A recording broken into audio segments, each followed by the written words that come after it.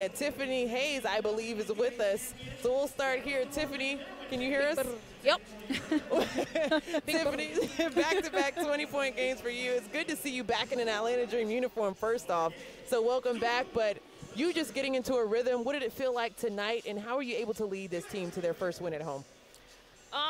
You know, it started slow. Obviously, I came from overseas late, um, and we're still learning each other uh, as a whole, as a team. So um, I already told them it's going to take some time. We got a lot of new members on the team uh, for us to gel. And as far as myself, you know, I'm getting back day, uh, game by game, but uh, it, it was faster than I thought, actually. So I think I'm doing pretty well. I don't know what else to say.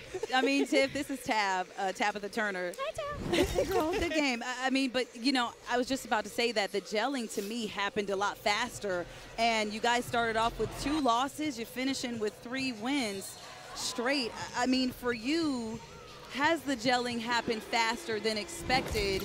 And how do you see this team progressing from here on out?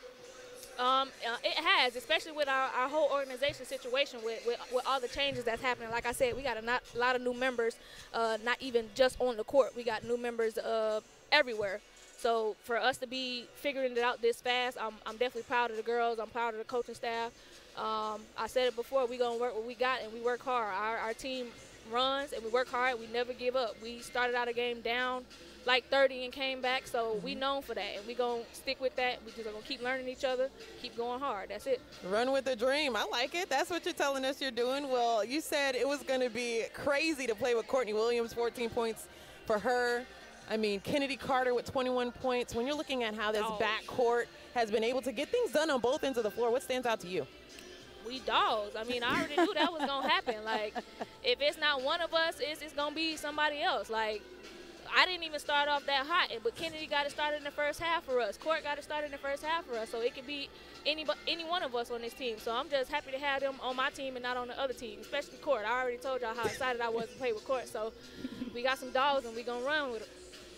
We love to see it. Thank you so much for your time. Welcome back, Tiffany Hayes. Another 20-point game for you. Phenomenal win. Go enjoy it. Appreciate it. Looks Big good.